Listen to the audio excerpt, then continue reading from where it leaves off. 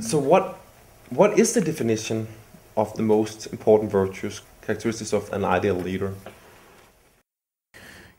When a uh, a board is going to choose a new leader, uh, usually it is going to be a person to make up for the deficiencies of the previous leader.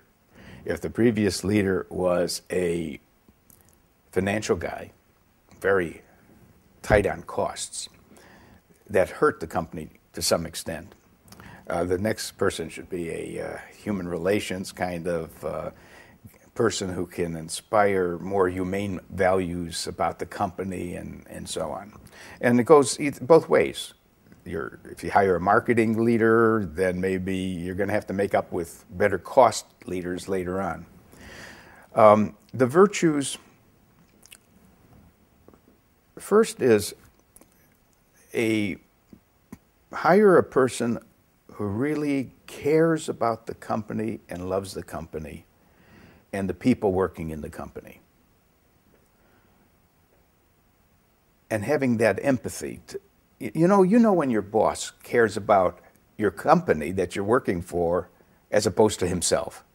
There are bosses who are so transparently trying to build their own empires in their own uh, uh, pay and so on uh, General Mills was a, a, a, great example of a company where the I forget his name, but I met him some years ago, and he was running General Mills, and he loved the company. He, he was open to everyone. He, you could knock on his door. You could send him this, you know, messages. When he, he, went around asking his employees, "What do you think about this?" and so on. They just all felt involved in the company. We've we've learned that the extent to which your employees are engaged in the company, proud of it, believing there's a, there's a significance to what the company's all about beyond the products. For example, instead of a company selling seeds saying we're selling seeds, we are in the business of improving agricultural productivity. A bigger idea. Okay. When company when employees feel significant and when you have a leader who can be that kind of person. That's very important. So, an open person, a caring person.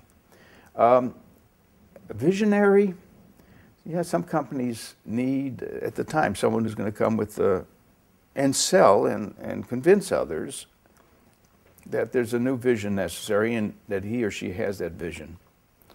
Inspiring, there are, it's very interesting. In Jim Collins' book, From Good to Great, where he found the 12 or 13 companies that did outstanding performance. A number of the leaders were pretty plain guys, no charisma. This big drugstore chain called Walgreens, a nice guy ran it, but you, could, you knew the guy cared about the company and the people in the company. So the charisma thing, I think Drucker probably thought said that charisma is overrated. Uh, should a uh, CEO be six feet tall and have nice gray hair or what? I mean, it's it's not clear that there are externals um, to it. Some of the great leaders were uh, people shorter than the people around them. Napoleon was five feet, what, four, six? I don't know. So I, I, guess there's a there are lists of characteristics of of of, le- of people who have some of the things we ex- that will deliver um, value.